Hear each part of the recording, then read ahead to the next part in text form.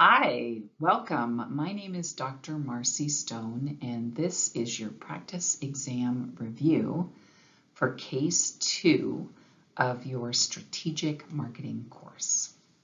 Okay, so here is our organizational overview of Case 2. So the second case study will relate to InMotion Activewear Company, a New York-based company that initially focused on men's and women's activewear for racket sports and has recently decided to enter the growing and highly competitive general activewear slash athleisure wear. I was trying to combine those two. The company must better understand consumer behavior and brand strategies to maximize value for the company and its customers. InMotion Activewear Company was founded in 2000 in New York. The company initially focused on producing branded men and women's tennis clothing sold through its 30 brick and mortar stores in the United States and select tennis clubs shops tennis club shops worldwide. A limited selection of popular products is also sold online. The company is known for its stylish and comfortable activewear marked by a recognizable logo that represents a reliable and respected brand. Sales notably increased over the years with brand recognition and loyalty in the focused segment of tennis. Quality markets market initiatives with worldwide professional tennis leagues and tournaments and endorsement agreements with top players contributed to sales growth. As the sport of pickleball gained popularity, InMotion Activewear Company expanded its product line, marketing efforts, and retail options in sports clubs to be suitable for this sport as well. Continued business successes have been experienced as many pickleball players were attracted to and became loyal to the brand. Clothing as a staple is always in demand. Ongoing environmental scanning at InMotion Activewear Company heightened awareness of recent consumer trends related to activewear, which is outpacing sales of other clothing categories. Multiple factors are contributing to strong industry growth and consumer demand including increased health conscious with more people becoming active in sports and recreational activities, additional initiatives by governments and health insurance to encourage physical activity, increased work from home situations in general and due to the COVID-19 pandemic with consumer preferences for comfortable casual clothing and activewear crossed over into fashion clothing with more people wearing stylish activewear for everyday events and leading to the term athleisure often being used for this clothing.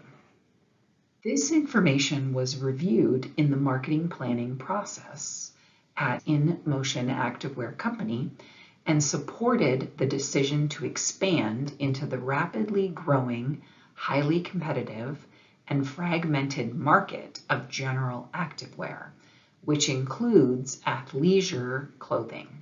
The company would not experience the typically high barriers to entry into this industry given its existing business and supporting infrastructure, such as suppliers, uh, sports affiliations, retail stores, and a modest online presence.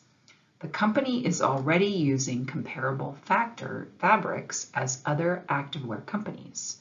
Versatile synthetic fabrics that are functional for the athlete, such as sweat wicking and breathable, while adaptable and stylish for all consumers. The brand awareness of InMotion Activewear Company should help the company attract additional consumers in selected segments. This broader approach to activewear recognizes the definition of new target markets and modifications of the marketing mix. Furthermore, the needs and wants of customers during and beyond purchase experiences require attention. There should also be a focus on industry and broader matters, including diversity and inclusion, supply chain practices, and sustainability. There are many choices for consumers in the activewear space. As such, InMotion Activewear Company must properly appeal to target markets to increase brand awareness, encourage purchases, and build loyalty. InMotion Activewear Company is moving forward with plans to expand its business into the broader activewear clothing market. You have been hired as a marketing consultant to help the company further build its brand and business with a better understanding of consumer behavior and recommendations for brand strategy. Okay, so now we're going to review five questions that are from the actual exam. The first question is, ongoing environmental scanning at InMotion Activewear Company has heightened awareness of recent consumer trends relative to activewear, which is outpacing sales of other clothing categories. Multiple factors have contributed to sales growth, including increased health consciousness among consumers with more involvement in sports and recreational activities, work from home situations with a preference for comfortable clothing, and the emergence of athleisure clothing. Executives at InMotion Activewear companies suggest factors they believe that demographics, lifestyle, and personality are the most critical influences on activewear purchase, purchase decisions. As a marketing consultant to the company, what is your expert opinion of this approach? So we have four answers here. So A is it is an acceptable approach since the described personal factors represent all influences on decisions regarding activewear. B, it is not an acceptable approach since situational, social, and psychological factors also influence decisions regarding activewear. C, it is not an acceptable approach since situation, psychological, situational, psychological, and economic factors also influence decisions regarding activewear. And then D, it's an acceptable approach since the pers described personal factors are the most obvious influences on decisions regarding activewear. So the answer here is B. So it is not an acceptable approach since situational, social, and psychological factors also influence decisions regarding factorwear, activewear. so when we're looking at different personal factors, so demographics, lifestyle, and personality. That is not, they may be influences on activewear purchase decisions, but really some of these things are situational, which might include someone is walking through the mall, sees the store, decides that they need more leisure wear and they walk in. So it's more situational. They just happen to be there at the same time. And then we have social aspects it may be that all their friends are wearing athleisure wear when they go out to happy hour at night. So now you need to feel like that is what you want to do as the consumer. And then we have psychological factors that may also influence that. So we've also we've already talked about the health conscious people. They may be it may be more that they feel like they have to wear this all day now as opposed to just I'm going to wear this while I'm working out. So then our course learning outcome for this question is apply key consumer behavior principles to marketing decisions. Okay, and then the next question is sales growth for activewear has been partially influenced by the fact that the clothing has crossed over into fashion clothing with more people wearing activewear for everyday events. This has led them to the term athleisure often being used for clothing. How would you explain to your client the likely reasons for this fashion trend based on the social factors of consumer behavior? So we have A, culture, family, and social class have impacts on needs and wants with guidance on acceptable behaviors for the group. B, culture, reference groups, and social class have impacts on needs and wants while dictating the required practices to belong. Or C, subcultures, reference groups, and social class influence percep perceptions of needs and wants while encouraging similar behaviors and group conformity. And then D, culture, family, and opinion leaders influence perceptions of needs and wants with strict standards for behavioral practices of group members and followers. So the answer here is C. So you've got subcultures, reference groups, and social classes that influence those perceptions while encouraging similar behaviors and group conformity. So in this case, it's the example that I gave about happy hour. If all of your friends are wearing leisure wear to happy hour, then you will wear leisure wear to happy hour. It's more of a social class influence in this case. So if you're the only one who shows up in business clothing to happy hour, then the rest of the group may look at you a little strange, like you don't quite fit in. So then we have group conformity in that sense. So that is the correct answer. And this, for this one, the course learning outcome is apply key consumer behavior principles to marketing decisions. And the next question is, InMotion Activewear Company, a company initially focused on tennis and pickleball segments is entering the general activewear to tap into other sports segments and athleisure clothing. The company offers premium priced, high quality activewear, which is made from performance fabrics and includes the brand's familiar logo. InMotion Activewear Company has a strong brand name and loyal customers. In a recent meeting with executives in the client company, a comment was made that the prices of the company's activewear relative to its quality are the only value created for consumers by the brand. What is the problem with this assumption?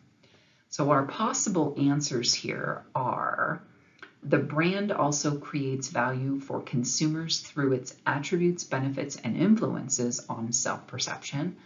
Uh, the next one is the brand also creates value for consumers through its attributes, alignment with personal values, and similarity to other products. C is the brand will not have a financial value for consumers when comparing prices to quality for price sense insensitive customers, consumers. And then D is the brand will not have a financial value for consumers when comparing prices to quality unless competitive products are also reviewed. So the answer here is C or A. the brand also creates value for consumers through its attributes, benefits, and influences on self-perception. So by making a comment saying that, let's see, where is it, was made by the, making the comment that the prices of the company's activewear relative to its quality are the only value. The problem with that assumption is that it doesn't take into consideration the attributes of the brand, the benefits, and any influences that it does have on self perception. If you feel better in your clothing, then you're going to be more confident, you're going to psychologically feel better about it. And then that is going to influence your self perception. It's going to benefit your self perception. So it is important to not only consider the value that's created by the product, but also what the other values are that are beneficial. And then the learning, the course learning outcome for this question is use the marketing planning process to meet business goals.